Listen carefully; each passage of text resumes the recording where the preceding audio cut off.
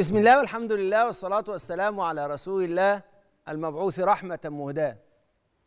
النهاردة موعدنا في السبت الجميل بيكون موعدنا مع أصحاب السعادة. وإحنا أصحاب السعادة ماشيين في رحلة التمهير التمهير الزواجي إن يبقى عندنا مهارات. عارفين فايدة المهارات إيه؟ فايدة المهارات إن هي بتدخل على البيوت السعادة من أوسع الأبواب اللي هو إيه؟ باب الباب دوت اللي هو باب إيه؟ باب الاتزان. وعشان كده المهارة اللي إحنا هنتكلم عنها النهاردة مهارة إذا خلى منها بيت بشرط إن هي تكون متزنة البيت دوت ما بيكونش عمران. ولذلك هي مهارة في غاية الأهمية لكن في غاية الحساسية. إحنا ملاحظين إن إحنا كل شوية المهارات عندنا بتبقى فيها دقة وفيها حساسية. بس في نفس الوقت هي مهارات لما بنفتقدها البيوت ما بتبقاش مستقرة ومش متزنة.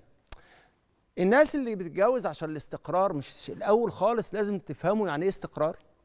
الناس اللي بتتجوز كمان عشان يكونوا كمان عايزين هدوء مش لازم تعرفوا المهارات اللي بتسبب لنا الهدوء. إيه؟ النهارده هنكلمكم عن مهارة. إذا اتعملت بدقة تخلي البيت مستقر. وإذا المهارة اتعملت بدقة وكانت مهارة حقيقية توصل البيت إلى إيه؟ توصل البيت كمان إلى الاتزان. المهارة دي هي مهارة إيه؟ مهارة أنا بطلق عليها مهارة الصراحة الزوجية. ويجي سؤال بقى يعني إيه الصراحة ما بين الأزواج؟ هل معناها الصدق ولا معناها إني ما أخبيش أي شيء على شريك حياتي وإن من حقه يعرف كل حاجة عني؟ ولا الصراحة بمعنى عدم اللف والدوران؟ يعني بالإصطلاح اللي بيقولوه الناس ما نحورش على بعض. ولا الصراحة بمعناها إن الواحد يبقى في الحقيقة ما بيحاولش يتعامل مع شريك حياته على إن هو يجب إن أنا أكون غامض عشان يكون هو دايما بيتعامل معايا. لا بلاش الغموض. لا الصراحة مش معناها بلاش الغموض.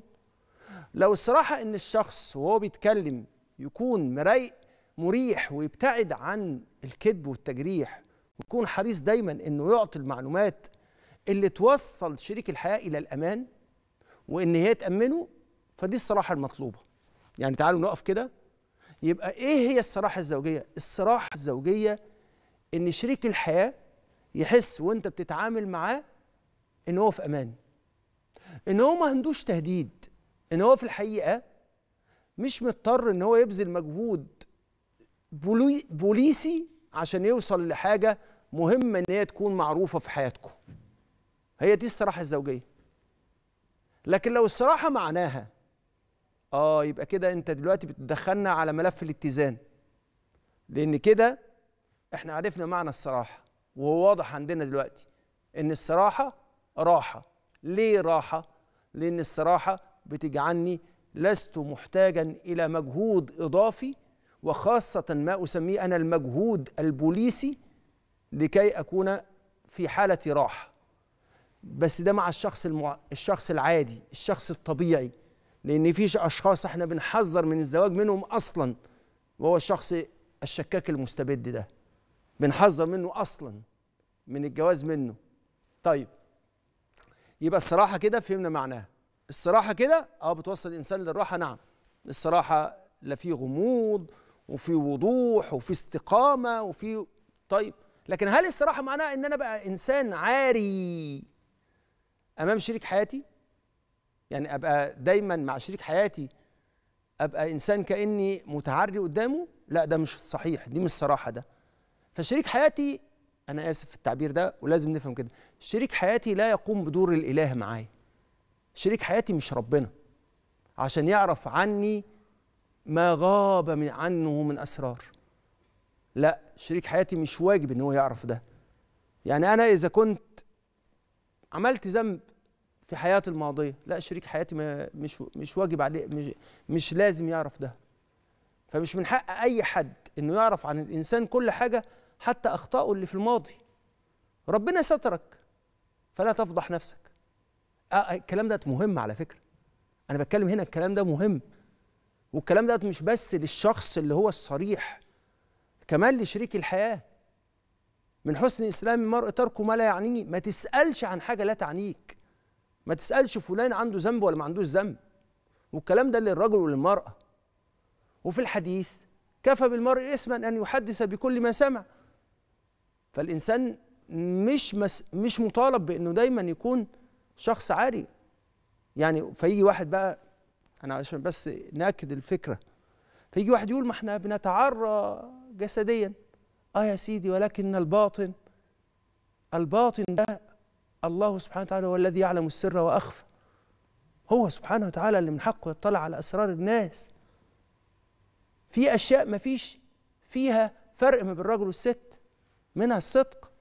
فمش من حق حد يسألني عن ذنوبي مش من حق حد. إيه ده؟ حتى زوجي حتى زوجي حتى زوجتي حتى زوجتي. لأني لو قلتها أبقى عملت مخالفة شرعية. والأسوأ من كده إن في حد فاهم إن الصراحة اسمها الافتضاح اني عشان أكون مع شريك حياتي صريح أفضل أتبجح وأفضح نفسي فده فخ. ساعات بيعملوا الرجالة فبيقول للست هو كان في في العيلة حد متكلم عليكي؟ مثلا فتقول له آه كان فلان وفلان وكان بينا حب. وبعد كده حصل بعض التجاوزات لكن ما وصلش للغلط الحمد لله ولا حاجة. وهو سمع وساكت. فبعد ما سمع وسكت راح إيه؟ راح في محل لقى البياع بيكلمها فالكلام جاب بعضه فقال لها أنت طالق. إيه اللي حصل؟ طب ليه كده؟ لأن الكلام اللي قالته له تحت عنوان الصراحة خلاه يبص لها ويشك فيها ويحس إن هي شخص غير مناسب. وهي برضه ممكن تعمل له فخ تقول له أنت بقى يا سيدي كنت خاطب مين؟ وتسيبه يحكي. فهو دلوقتي بيقول لها أقول لك على حاجة بس أنا طبعا إحنا لازم نبقى صرحاء مع بعض فأنا أقول لك كل حاجة بصراحة. فيفضل يحكي لها يحكي لها يحكي لها فإيه اللي حاصل؟ فيحكي لها عن بعض الأخطاء اللي وقعت بينه وبين خطيبته السابقة. فهي تقول خلاص ده خاين ده بيلعب بالبنات. وتتفشكل الخطوبة. أو حتى في بعض الأحيان تطلب منه الطلاق على أهون سبب. ولذلك لازم نفرق هنا ما بين الكذب والتخبيه. الكذب كبيره على فكرة لكن التخبيه غير الكذب فالكذب تعريفه شرعا هو الإخبار على خلاف الواقع. إن لما حد يسألك إيه اللي حصل تقول له حاجة ما حصلتش. لكن واحد سألناه كنت فين فقالت لها إن في مكان غير المكان اللي كانت فيه دي كذب. لكن لو ما بادرش وأخبر بده ده مش كذب. ما تقولش إن ده كذب لأن ده مش كذب. في أشياء لابد إن إحنا نراعيها. لازم نراعي نمط الزوج ونراعي الموقف ونراعي تأثير الكلام على نفسية شريك الحياة. ولذلك لو الزوجة عارفة إن في شيء بيضايق زوجها فمن حسن العشرة إن ما تقولش الشيء ده. وعشان كده في مجال تاني من مجالات الصراحة وهي المصالحة المادية. في ناس بتشوف إن من حقها تكون عارفة عن شريكها كل شيء يخص مرتبه أو ميراثه أو رصيده في البنك أو دخله بشكل عام. لكن ده مش ضروري لو كان الزوج بيأدي كل الاحتياجات اللي عندهم وهم واضحين مع بعض في الكلام عن مستقبلهم المالي. فمش غلط إن يبقى في جزء خاص لأن ده من الأمور الخاصة في حقه. محدش محدش يطلع عليها لأن في بعض الاحيان بعض الرجالة بيبقوا عندهم جزء كده بيشيلوه عشان لو حصل أزمات في البيت. فيحتفظ بهذه المسألة وتكون في خصوصيته. وفي نفس الوقت في المقابل هي المرأة كذلك. ليها ذمتها المالية المستقلة اللي مش لازم تقول كل حاجة عنها. وما ومش من حق الزوج اللي هو متكفل بالنفقة عليها إن هي تفصح عن دخلها ولا تفصح كمان عن اللي ورثته. وعشان كده الدراسات بتقول إن في أسرار عند الستات وأسرار عند الرجال. فمن أهم الأسرار عند الستات ويمكن ترتيبها بيكون الثالث أو الرابع هو خلافات الأهل والإنفاق على أهلها. فعشان كده دي حاجات مش لازم الزوج يعرف عنها. إزاي بقى؟ طبعا الرجالة إزاي ما تعرفش عنها؟ يا سيدي إيه اللي حصل لا تسألوا عن أشياء إن تبت لكم تسؤكم. ومن أسرار الرجاله كمان الانفاق على أهله برضه. لو الزوجة حكت لزوجها عن الخلافات بين بين أهلها ممكن يجي هو بعد كده يقول لها أنت بتقلدي مامتك أو أنت عاوزاني أبقى زي باباكي. والكلام يبقى في البيت لمامتك. زي آه، آه، آه، البيت كله يمشي برأيك أنت زي ما كان بيمشي برأي مامتك. فلازم نفهم إن الصراحة مش مفهوم واقف لوحده كده لأنه في بعض الاحيان بيتحول إلى حب التملك. الصراحة بيكون معاه جم جملة من المفاهيم بتحيط بيها من أولها مفهوم مثلا الخصوصية. فالصراحة ما ينفعش تنتهك الخصوصية. لابد إن إحنا دايما نتعلم شيء قبل الصراحة إن شريك حياتي ده حبيبي مش عدوي مش شخص مخيف بالنسبة لي. وتعالوا هنا نقول شوية مهارة الصراحة أو المصارحة الزوجية بتبقى إيه؟ أول حاجة أول عنصر يتبني عليه المهارة دي بتتكون من خمس سلوكيات. السلوك الأولاني السلوك الأولاني اللي بينشأ عليه المصالحه الزوجية. أول حاجة التأكيد على المحبة. يعني عشان يبقى في مصالحه زوجية دايما نؤكد على المحبة. يبقى أول حاجة بنأكد على المحبة.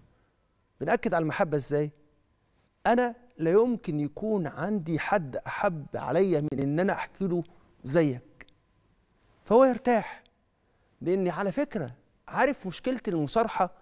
بيستخدمها بعض الناس إن هي للدلالة لما توصل للافتضاح هو عايز يعرف الأسرار عشان يتأكد إن هو بيحب يتاكد من حبها وهي تتأكد من حبه.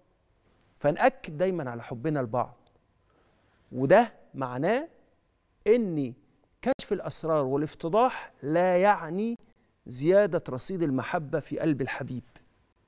ده شيء ده ده ده ده, ده ألف ب. طب واللي بي واللي بيصارح عشان يزداد؟ لا ده هو كل ما بيكشف عنه بيكشف عن بعض الأشياء. احتمال كبير إن تتحول الأشياء دي لخصم مش إضافة. يبقى أول حاجة التأكيد على المحبة. الحاجة الثانية إن دايما نكون قريبين مع بعض في الأفكار. وبيننا شيء مشترك بنعمله مع بعض. لأن الافتضاح بيبقى هي الأداء اللي بيحاول الشخص يقترب من بطن صاحبه وشريك حياته. طب هو لو إنه دايما بيكلمه فلذلك رسول الله صلى الله عليه وسلم يقول للسيدة عائشة إني لاعلم متى تكوني عني راضية ومتى تكوني عني ساخطة. فلما الشخص يعبر على إنه متفهم وفاهم مش بيحتاج لده. يبقى أول حاجة التعبير عن الحب. تاني شيء دايما يكون في أعمال مشتركة. الحاجة الثالثه اللي بتدعم ده الحوار الدائم. لازم كل يوم يكون بينا كلام. لأن كل ما يكون بينا كلام كل ما إيه اللي حاصل؟ ما احتياجنا للأسرار ما بنبقاش محتاجين الاسرار ما إحنا بنبقى فاهمين بعض. الحاجة الرابعة المهارة أو السلوك الرابع الإجابة على على الأسئلة في أوقات عدم الفهم بشكل مباشر. أنت كنت فين؟ أنا كنت في المكان الفلاني. آخر سلوك هو إن دايما ببساطة خالص خالص إن إحنا نطمئن ونطمئن شريك الحياة على أننا دايما مع أي تغيير في حياتنا إحنا مع بعض. الخمس سلوكيات دول بيخلونا دايما في راحة وساعتها الصراحة بتتحول إلى الراحة. وعشان كده مجالات الصراحة اللي بينا بتبقى سواء في المشاعر فناخد بالنا وإحنا بنتكلم عن مشاعرنا عشان كلامنا ما يجرحش شريك الحياة. نطبق بقى الخمس خطوات اللي إحنا فيها فممكن الزوج يكون بيزعل من حاجة فما ينفعش إن إحنا أقول له إننا ما بقتش أحبك. لا أنا لازم أقول له دايما إن أنا بحبك. فحتى الحب اللي بيزيد وينقص إيه اللي بيحصل؟ بيزيد بالخمس حاجات اللي إحنا قلنا عليهم دول. طب إيه الإجراءات اللي إحنا نعملها عشان دائما نزود إحساسنا بإن إحنا قريبين من بعض؟ هي إيه الهدف من المصارحة الزواجية؟ الهدف من المصارحة الزواجية هو القرب القرب من بعض. فخلينا طول الوقت نقول ببساطة خالص المصارحة الزواجية بتبدأ عندما نتكلم كل أسبوع عن ما كان بيننا من إحساسات غير مناسبة. يعني إيه اللي حاصل؟ أصارح شريك حياتي إيه اللي أنا زعلت منه؟ بس أنا بقول ما أجيش أقول له أنا زعلت منك إن أنت عملت كذا. لكن أقول إيه؟ أنا كنت محتاجة لما أنا كنت تعبانة ان حد يسأل عليا. بس. فيقول أنا آسف. دي مصارحة. يبقى في كل أسبوع نقول الكلام دوت بس بهذه الطريقة. بطريقة إيه؟ أنا كنت محتاجة. مش أنت ما عملتش كذا. يبقى دي أول خطوة. الخطوة الثانية اللي إحنا محتاجين إن إحنا نعملها بشكل واضح ان بلاش الطريقة اللي غير مناسبة إن إحنا نعتبر المصارحة بس في المساوئ. لازم أصارح بحبي. يعني لازم أعبر عن حبي كل يوم. مرة قلت للناس إن لازم أنا أعبر عن حبي رقم معين ما خلصتش. لا لازم كل يوم نعبر عن حبنا بشكل واضح.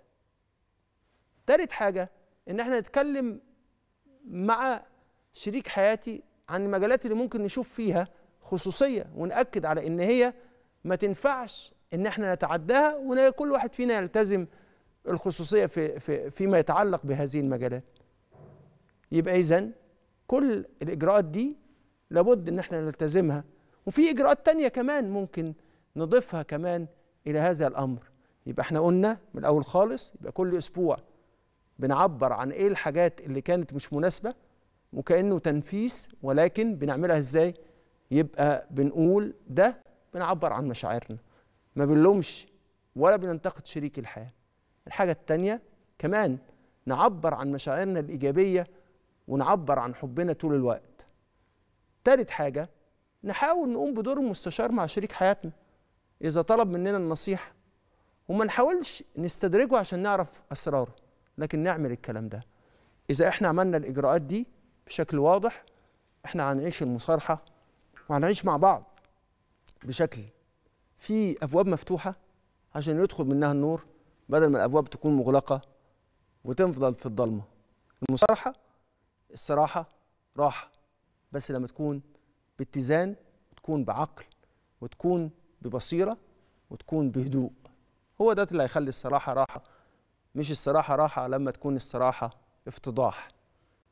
الصراحة لو افتضاح بتكون جارحة وبتكون مؤذية ولذلك لازم الصراحة تكون في اتزان.